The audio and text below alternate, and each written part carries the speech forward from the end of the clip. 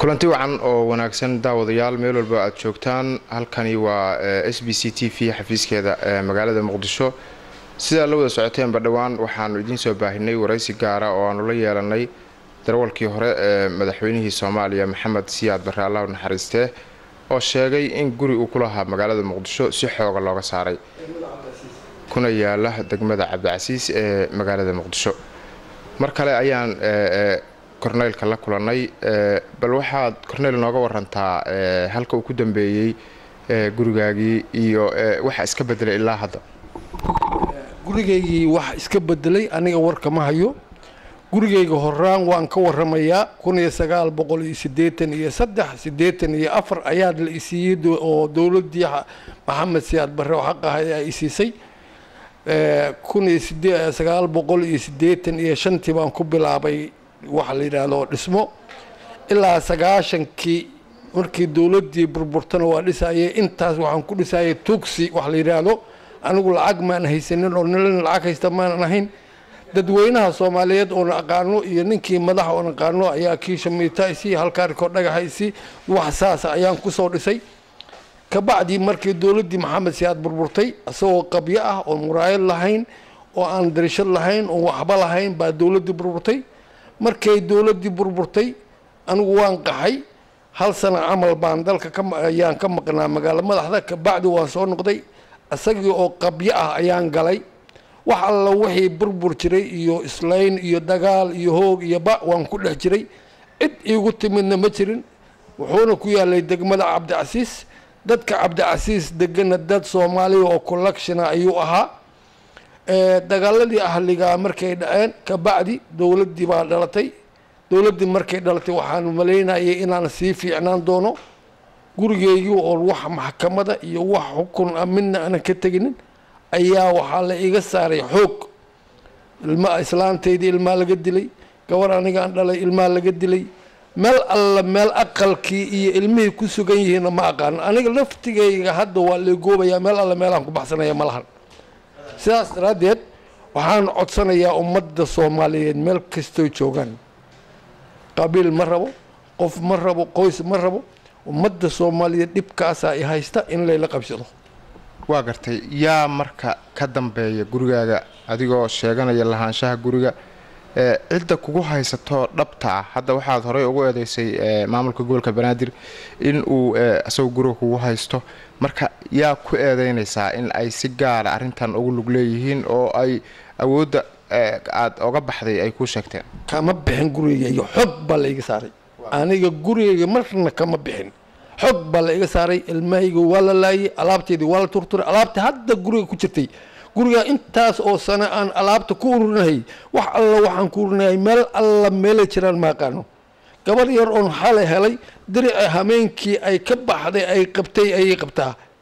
Kow aniga gurigayga waxaan ku eedeynayaa ninka wasiiru dowlaha madaxtooyada ah oo la yidhaahdo magaciisa mahad maxamed salaal la yidhaahdo oo meel walba u galay gurigayga xoog inuu ku qaato iyo guddoomiyaha gobolka banaadir labadaas qof baan ayaa gurigayga maxkamad kama tegin oo maxkamad la ima geynin oo wax maxkamadaygu xukuntay ma arkin.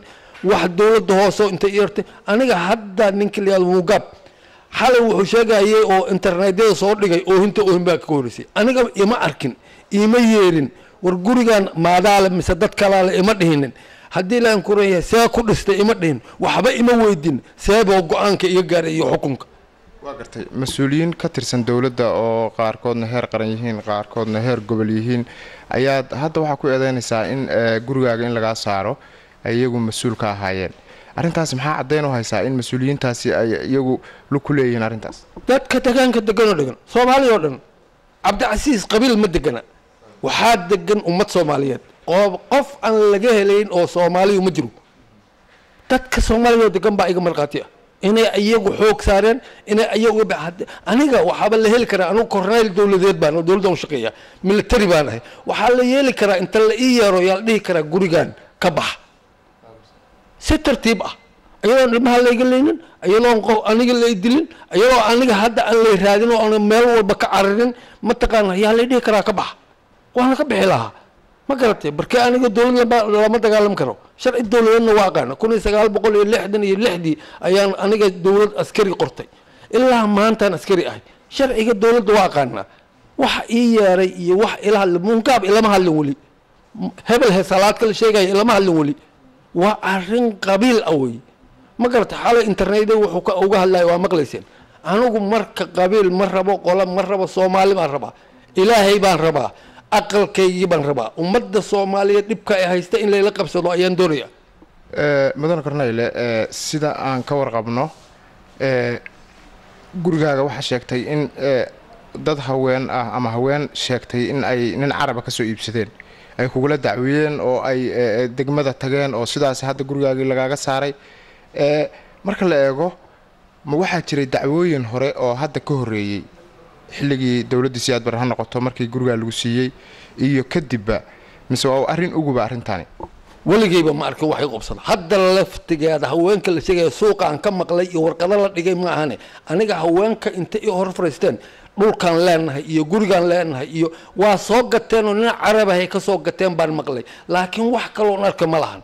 Miyay ku yimaadeen maya aniga ima iman. Gurigay soo gargaraaceen anoo ka maqan oo ilmuhu ay joogaan gurigaanaan soo gadanay waxaan rabnaa in looga baxay dheheen. Lacag baa in siinaynaay ciyaalkii la yaab bay ku noqotay waxay dheheen gurigeena annagaa haysanaa soomaali oo dhan baa taqana gurigeena orda naga tagay dheheen. Ma yeelin waxay u tageen muungaab xukunkana muungaab baa ku fuliyey. Waa intaa weeye gurigay arrintiisa. Kow mahad maxamed salaadu wuxuu ka dhigtay condition horta ninka guriga ha laga saaro. War ninka guriga asagaa leh maxaa looga saarayaa? Ma garatay horta ha laga saaro ninka guriga. Waa xoog awood wey akuza buteri wa marka dee saasaa jirta. Okay guriga markii dowladdu ku siinaysay dowladdii hore kacaanku ma meel dhisma oo bannaan buu ahaa odaa dhismaha aasaasay mise waxaa weeye dhismaha ka dhisnaa wax ka dhisan uma jirin. Haan qashin baa oola jirtay reer cabdicasiis oo dhan baa yaqaana. Haantii qashinka oola jidhay waxaa iga qaaday dowladda hoose. John fidow ninka la yihahdo generaalka oo booliiska ah oo markaas dowladda hoose madax ka ahaa ayaa mataqaanaya haantii qashinka iga qaaday meel bannaan buu ahaa cagaf baa mariyey meel qashin baa lagu waxa dhala taalay waxa qashin kala yaalay. Inta degmada degan guriga ugu dhegan sheikha muudey gacal nuur faarax haddii laan koran yahay guriga kaloo igu dhegan safaarada jabuuti dadkii degana kulligood meel qashin la dhigi jiray ahayd meel bannaan bay ahayd. Wax ku yaalla ma jira anaa xaaqay ma jiraa marka dhismahan ama booskaas oo kale inuu horay nin carabka u sheeganayo ma anigu carabna ma arkin dhismana kuma oolin meesha wax ka dhisana ma jirin meel bannaan oo qashin quba ay ahayd. Meeshii qashqubkayd anaa xaartay anaa dowladdu isiisay waa la ii cabiray sidii la igu cabiray baan ku jeexday. Waxaa jooga ninkii kaarikadii ugu horreysay faarax jilibey baa layaha faarax faarax cabdilla cigaal baa layahdaa ninkii kaarikadii ugu horreysay dhagaxa ku daadiyey wuu joogaa soomaali wey labada shub ninkii saaray injineer axmed yaraa la yidhahdaa waa joogaa ma garatay ummadda kalentoo dariska ana markhaati bay ka tahay inaan wax dhismo ah ama ha horreeya ama ha dambeeya aniga ankayga aynu ku yaalla usan jirin.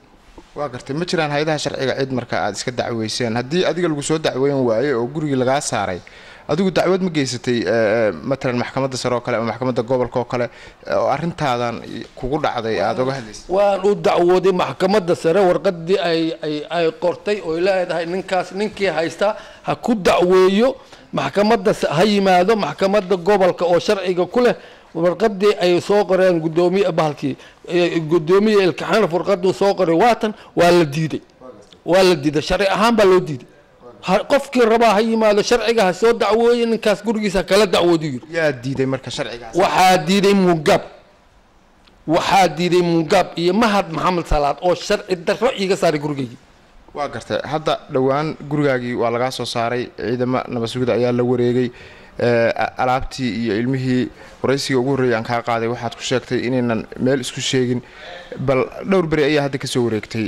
Maxaa isbedelay hadda? Ilmihii maysan sheen. Bedele ma jiraan. Ilmahaygii laba islaantaydii iyo gabar aniga dhalay isbitaal bay ku jiraan.